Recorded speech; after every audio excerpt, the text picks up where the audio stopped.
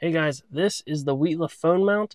It also has a built-in wireless charger and some other great features. Let's open this thing up and check it out. All right, so in your box, you're gonna get the actual phone mount here. You get the clip that's gonna attach to your uh, car vent and then the power cord, which is a USB type C. So it says here on the box that this has an FOD sensor, auto coil alignment, electrostatic protection, and a smart chip in it. It says it's fully automatic. Let's get this thing hooked up here and see how this thing really works. All right, so you got to attach the clip to the back here. So you just unscrew this knob and then this slides in the back.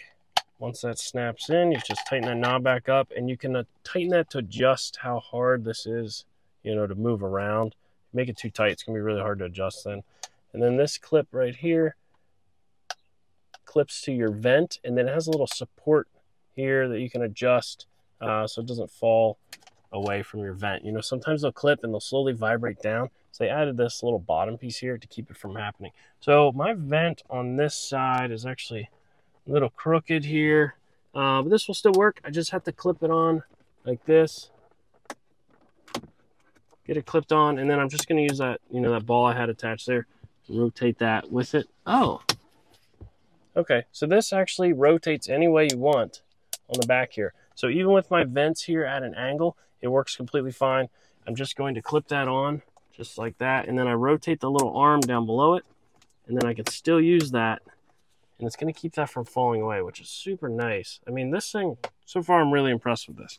Now, we got to plug the cord in here. It says it has some type of automatic attachment, so it'll release your phone, something like that. So let's try this thing out here. So you plug this cord in right here on the bottom like this. Just pulled that off there so you can see that. Let me reattach this here. Now I'm going to turn the car on here. Pull my little protective cover and I can see a nice light little blue light there in the middle. And you can see the arms came out there to let me put the phone on. So I'll put my phone on here and the arms shut automatically. That's super cool. All right, so how do I get my phone back out? Oh, there's two little buttons here on the side.